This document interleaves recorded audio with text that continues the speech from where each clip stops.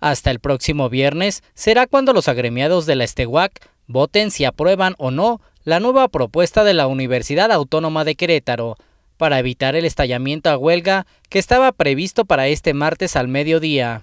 Esta prórroga se aprobó con 598 votos en la Asamblea de la Estehuac, tras darse a conocer la nueva propuesta, dejando la posibilidad del estallamiento a huelga para esta fecha.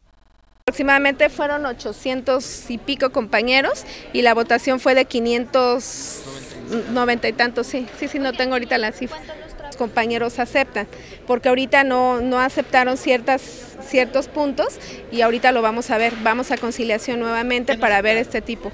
La propuesta consiste en crear una comisión mixta para la asignación de bases para los trabajadores. Eh, no hemos hecho ninguna prórroga, esta sería la primera y este y pues bueno, en el entendido también que hay algunas, como ustedes saben, algunas violaciones al contrato colectivo que tampoco quedan ahorita bien firmes y sobre todo lo tenemos que dejar todo ya bien planteado cómo va a ser la relación de aquí en adelante con la autoridad universitaria. Estamos todavía viendo esa esta problemática si hay una cerrazón para cómo van a ser los compañeros recontratados eh, y los de agosto, eh, pues ya estaríamos viendo esa, esa postura. Con información de Ulises Villar e imágenes de Hugo Feregrino, Cuadratín Querétaro.